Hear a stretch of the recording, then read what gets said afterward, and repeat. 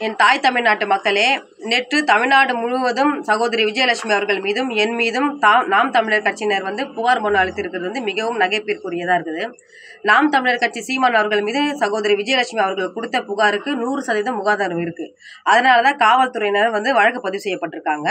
அந்த வழக்கில் என்ன விவரம் இருக்கோ அந்த விவரங்களை வந்து விரிவாக வந்து நான் நாட்டு மக்களுக்கு வந்து நான் தெரியப்படுத்தின்னு இருக்கோம் நாங்கள் ஆனால் மூத்த பத்திரிகை ஆசிரியரான தமிழா பாண்டியன் ஐயா அவர்கள் வந்து சீமான் அவர்கள் வந்து பத்துக்கும் மேற்பட்ட பெண்களை வந்து ஆசை வார்த்தை கூறி திருமணம் செய்வதாக கூறி ஏமாற்றியதாக ஒரு குற்றச்சாட்டை வந்து முன்வைக்கிறாரு.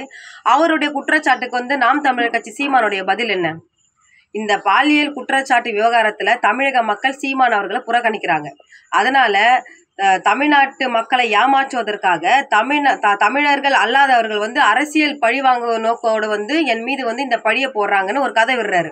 நான் வந்து சென்னை மௌலிவாக்கத்தில் உள்ள உசைனி உயர்நிலை பள்ளின்ற இஸ்லாமிய பள்ளியில தான் நான் படித்தேன் இது என்னுடைய டிசி என்னுடைய ப- நான் படித்த பள்ளியுடைய டிசி டிசி நம்பர் வந்து இருபத்தி ஏழு. அதில் நாலாவது காலத்தில் பார்த்தீங்கன்னா நேஷ்னாலிட்டி ரிலீஜியன்ஸ் அண்ட் கேஸ்ட் இந்த காலத்தில் நான் யாருன்றதை கு- குறிப்பிட்டிருக்கோம் பாருங்கள் இந்தியன் இண்டு ஒன் இயர் என்னுடைய தாய்மொழி வந்து தமிழ்.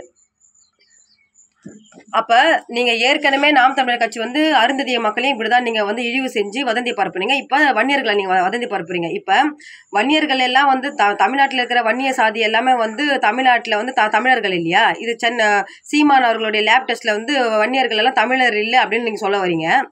இதே போன்று சீமான் அவர்களே நீங்களும் உங்களுடைய மனைவி கயல்விழி அவர்களும் உங்களுடைய பள்ளி சார்ந்த நாட்டு மக்களுக்கு தெரிவிக்க இது போ நான் நான் சொல்கிற போல தெரிவிக்கிறதுக்கு உங்களுக்கு தில்லும் திராணியும் இருக்கா?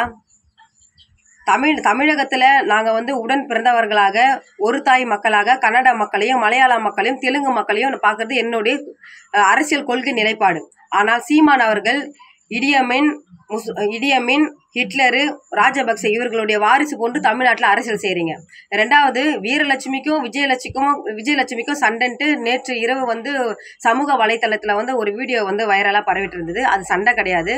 என்றைக்குமே வந்து வீரலட்சுமிக்கும் விஜயலட்சுமிக்கும் சண்டை வராது. அப்படியே சண்டை வந்தாலும் வீரலட்சுமி தாழ்ந்து போவேனே தவிர எந்த நிலையிலும் எந்த சூழ்நிலையும் சகோதரி விஜயலட்சுமி விஜயலட்சுமி அவர்களை வந்து தாழ்த்தி விட விட மாட்டேன். என்னுடைய ஆதரவு நிலை என்பது அவங்களுக்கு எந்த நிலையும் எந்த நேரத்தில் இருக்கும் என்பதை நாட்டு மக்களுக்கு தெரிவிச்சுக்கிறேன்.